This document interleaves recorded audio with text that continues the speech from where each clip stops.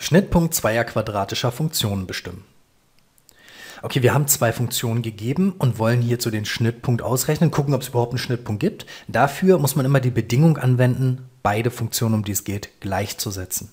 Okay, da setze ich jetzt ein, f von x ist ja hier oben gegeben und dann g von x ist hier gegeben, Gleichzeichen dazwischen und dann kann es losgehen. Und jetzt immer in drei Schritten alles auf eine Seite bringen, dann zweiter Schritt zusammenfassen und dann dritter Schritt irgendwie nach x freistellen und die Lösung finden. Okay, erster Schritt, alles irgendwie rüberbringen. Das mache ich einfach immer auf die linke Seite.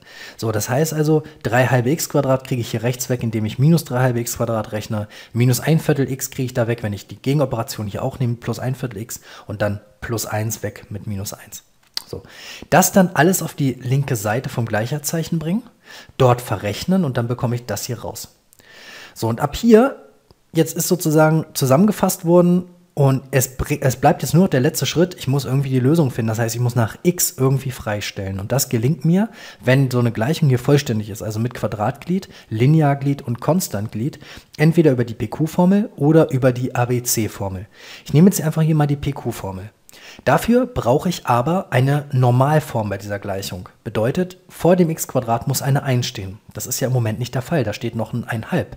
Also muss ich hier die Rechenoperation machen mal 2. Also mit dem Kehrwert quasi mal nehmen, würde bringen 1,5 mal 2, würden sich die 2 kürzen, es würde 1 überbleiben.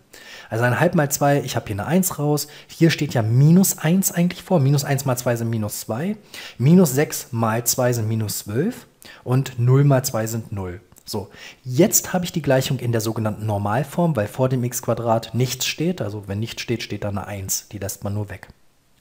So, jetzt habe ich hier ein p. Mein p ist minus 2 und mein q ist minus 12. Und dieses p von minus 2 und q von minus 12 muss ich jetzt in die allgemeine pq-Formel einsetzen. Haben wir schon ein paar Mal gemacht. Hier die p ist minus 2 und das q hier hinten minus 12. Dann wird ein bisschen gerechnet und es kommt hier eine Diskriminante raus, die ungleich 0 ist und größer als 0. Also 13 ist die Diskriminante unter der Wurzel und immer dann hat man auf jeden Fall schon mal zwei echte Lösungen hier, somit zwei voneinander verschiedene Schnittpunkte. Okay, ist hier also der Fall. Ich muss ein bisschen rechnen und es wird ein bisschen krumm, also ein bisschen eklig. Wurzel aus 13 sind 3,6056 gerundet. Jetzt einfach mal auf 4 Nachkommastellen, um es ein bisschen genau zu halten. Und es entstehen jetzt die Fälle, dass ich einmal 1 minus 3,6056 rechne. Da kommt ähm, die, erste, die erste Lösungsstelle raus, nämlich x1, das ist ungefähr minus 2,60. 5,6. Und die zweite Lösungsstelle ist, wenn ich 1 plus 3,6056 rechne, kommt das hier raus. So, das sind jetzt die x-Werte von meinen Schnittpunkten, die hier entstehen. Ich brauche jetzt aber noch die y-Werte. Also muss ich diese x-Werte in eine der beiden Funktionen einsetzen. Dabei ist völlig egal, in welche Funktion. So, gucken wir nochmal ganz kurz auf die Funktion. Es ist egal, ob du jetzt deine x-Stellen, die du ausgerechnet hast, in die f einsetzt oder die g, weil bei Schnittpunkten haben ja beide Funktionen an diesem Schnittpunkt denselben y-Wert. Insofern ist es egal, in welche du das einsetzt. Ich würde immer die leichtere von beiden nehmen. Und hier würde ich also die F empfehlen. Da ist ein Bruch weniger drin und so. Nehmen wir die doch mal. Okay, zurück. Das hier sind unsere Stellen. Ich will die y-Werte haben, also setze ich diese Stellen in die f ein und rechne die y-Werte aus. So, ist ein bisschen mühsam, ein bisschen tippen, äh, vielleicht mal eine Klammer setzen und so, da darf man nichts falsch machen.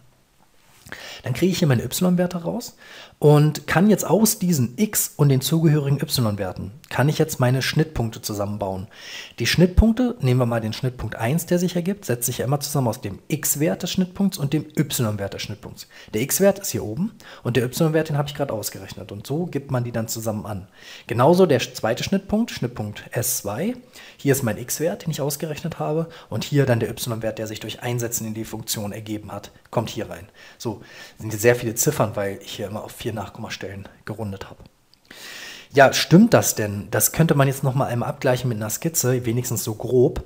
Ähm, F und G habe ich gezeichnet und der Schnittpunkt 1 liegt hier bei ja, minus 2,6, passt gut. Und dann hier 11 passt auch ganz gut. So, sieht also gut aus.